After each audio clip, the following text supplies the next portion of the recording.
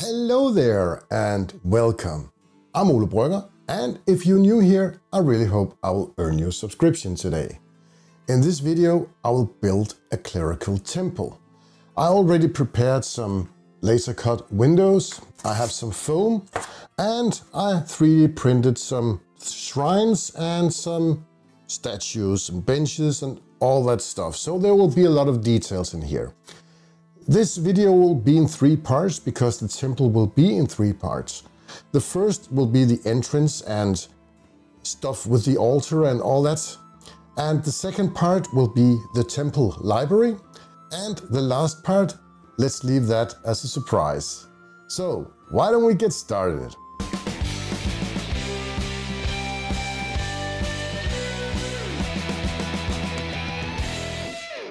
Had some new pieces of Army Painter foam and a couple of scrap pieces as well. And the scrap piece matched perfectly for the size I wanted. I have a general idea of how this project is going to look, but something will always change during the process. I'll use my hot glue gun to put the pieces together. Usually I use toothpicks when I'm working with big boards like this. But since there's going to be another layer on top of this, it's not that problematic not using the toothpicks. I marked up the base and cut it to size, but later on I'll change that, but we will come back to that. I had another big piece of scrap foam in my pile and it fit perfectly, so I will just cut this to the size and make a copy of that because I want some elevation and some stairs in front of the temple. I want the stairs to be curved and I know exactly what to do about that and if you've seen my previous videos, you know what I'm talking about. My trash can. It had the perfect curve that I needed for this. And then I could just cut it out with my X-Acto knife, using some 100 grain sandpaper to smooth the edges. For the top layer I needed a small notch and I will also make a round piece to put in here. This will however be only 5 millimeters thick the Army Painter foam is 10 millimeters, so half the thickness. And this was pretty easy to do on our Proxxon. For the bottom part of the stairs, I needed a bit more complex shape. It was pretty easy to draw it up on the foam, but cutting it out by freehand, mm, not so much. This piece also needed to be 5mm thick, and this was pretty easy. It had some gaps, and I think it looked okay and I can always fill it up with some drywall filler. I also need some pillars in front of the table. And I looked in my scrap pile and found this piece of pink foam. I will use one of the jigs from Shifting Lands. I will leave a link in the description below because these are awesome when you're making pillars. It's pretty easy. You'll just cut out a chunk of foam, 1 inch by 1 inch by 4 inches. And then you slide the piece of foam into the jig and cut along the edge that you prefer. The jig has two different sides, so you can make two different kinds of pillars. Just pop out the foam, turn it 90 degrees and do it all over again on all sides. And then you have this nice shape that looks like an ancient column. I made four columns in total that will be in front of the temple entrance. I also made some smaller pieces of foam from the bottom of the jig these are going to be the sockets for some statues. And it was here I decided to cut down the base for the building to the same size as the building. This will give me more options to put different kinds of terrain next to the building. I went into Inkscape and designed some gables. I needed three, one for each side of the building and one for the overhang. My laser can easily cut through 10mm wood, but this is foam and very soft and it will melt very easily. So I had to set up the speed very high for the engraving so I wouldn't melt too much foam. I needed to accept that I couldn't cut all the way through the foam without melting it. But at least I got some very deep grooves that I can cut with an X-Acto knife. It took a couple of attempts and as you can see here, I melted a lot of foam.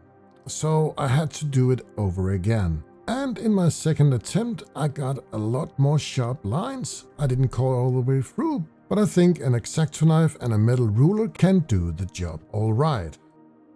Now I need to lay out the grid. I wanted some interior with perfect tiles that were 10 by 10 inches.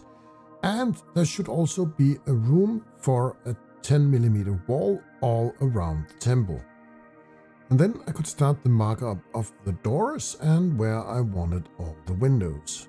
I also needed to scorch every line in the tiles and mark them up with a pencil to make a beveled edge. Since there will be no interior walls in the temple hall, I decided to make some nice patterns on the floor, just to make it a bit more interesting to look at. And now to the walls. I need some low walls that are one and a half inch high. This is to support playability so the players can easily access their miniatures. And I could have used some individual bricks to build all the bottom walls of the temple. But to speed up the process, I will just cut a strip of foam and draw in the bricks. However, the front and back of the temple will need some taller walls. In the back, I need to put a top window that will bring light down in the temple, and in the front I have a door. The door was laser cut ahead of this project, and we will get back to that later. But the door frame was very easy to use as a template, and I used a glue stick and it was pretty easy to cut it out with my Proxxon. And then I just need to draw in the stonework. I've glued in all the walls and done some minor detail work, and now it's time to build the base. On these big boards of foam, the easiest way to put them together is with my hot glue gun final piece of the stairs glued in, and then I just need some sanding. I made two small pieces of foam that were 1 inch by 1 inch and 5 millimeters thick. This is to support the middle columns, so they will be the same height as the outer columns. To hide all the crooked cuts I made on the bottom stair, I will use some drywall filler with a brush. I thin it down a bit with some water to make it flow a bit better into the groove. We also need some tall walls. I'll make these from 5mm foam core and cut them to the size and attach them to the roof. This will make it a lot easier to remove in one go and expose the playable interior. The foam core is pretty easy to cut with an X-Acto knife. Now that I have cut up all the pieces for the walls, I will need to cut out some holes for the windows. I also cut some frames for the windows that will be glued in and painted with some texture paint later. I just use a hot glue gun to glue in the window frames, and then I will clean up the hole with my X-Acto knife. After that was done, I could start assembling everything. The walls, the gables, and the roof. And again, hot glue was the way to go to make sure everything was stuck together right away and the same goes for the overhang on the front of the building. I did not glue in the columns, but on the other hand I will use some magnets, so they will be easy to remove for playability. I also need some roof shingle, and previously I've used this template I made on my bandsaw, and I just cut it out in foam. But this time I will use some black cardboard. I will tape a stack of cardboard to this foam core go to Inkscape and make a design and cut them out on my laser cutter. And then I noticed something, all these nice cutoffs, maybe I can use those bits for something. I made this quick little build of an altar and used the bits for details. To mount the roof shingles, I used some tacky glue. The tacky glue is just a PVA glue, but it's a bit thicker than ordinary PVA glue and it won't drip as easily and the paper will stay put and don't slide around. For the roof ridge, I cut some 1 and 3 thirds of an inch tiles and just folded them together and glued it in. Cardboard sucks up a lot of paint, so I gave it a treatment of Mod Podge mixed with black paint just to seal in the surface before I will paint it. Usually I use dry ground from AK to make stucco texture, but this time I want a more fine grain, so I decided to use a new one. This is the concrete from AK, and it has a much more fine texture, and I think it will suit the temple well. I'll also give the stairs in front of the temple the same treatment with this concrete texture paint. And then I could start priming it. I used this Cliff and Ruins foam primer from the Army Painter Whoops. the columns are still magnetic, I just forgot that. Usually I would have used some Mod Podge with black paint, but to speed up the process I chose this method and the result is almost the same, bit more expensive, but it is faster. This is the main door for the temple. I laser cut it a couple of weeks before I started this project because I had an idea of what I was going to build and I wanted something to look good. So this is laser engraved and laser cut. I will use some Darkwood speed paint from the Army Painter through my airbrush. All the windows will be painted with some rough iron, also from the Army Painter. After everything has dried up, I will dry brush it with some Golden Griffon from Citadel Color. I also need some hinges for the door because I want it to be able to open. I use some small pieces of cardboard and super glue them in. I've done a lot of resin pours recently and I've never had success with this type of UV resin before. Last time I used it was for my sewer tiles and as if you have seen it, watch up in the corner, I will put a card here. They went up in flames, not because of the resin, but they went up in flames. I will give it another chance and try to make some glass for these windows. I will mix it with some alcohol-based UV resin color and Let's see how this will go. I think they turned out pretty good, but when I removed the tape, it set some stains on the back and they were almost impossible to get off. So I decided that this will be the inside of the building and then I will repaint the frames for the outside. I want this temple to be white and shiny, so I started using a light grey primer from the Army Painter. The roof got some Hydra Turquoise. I applied this with my airbrush and I think this color looked awesome for the roof. The overhang of the roof shingles, I thought it didn't look right, so I just decided to cut them off.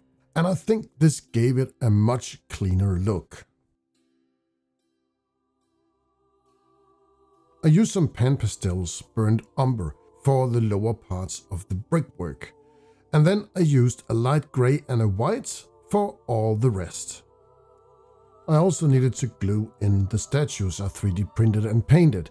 I just used some PVA glue, but in afterthought I should have used hot glue. This took forever to dry up and I don't know how many times I succeeded in flipping them over.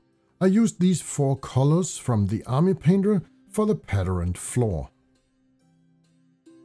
I think this looks great and it will give a nice contrast to the white and greys. And speaking about white, I will dry brush with a pure white where I think it needs some highlights. The windows will press fit nicely into the sockets and I don't even need to glue them in. With these windows I was not quite satisfied how they turned out, so I might redo them in the future. So press fitting them in will only be an advantage for me, so I can easily remove them again. To give the roof a final touch, I use some Army Painter Blue Wash. The temple is done. And I put in some extra details and we are going to have a look at the interior. For instance, I put in these ornaments. They're actually buttons from a shirt. So uh, I think they turned out pretty cool. But let's have a look inside.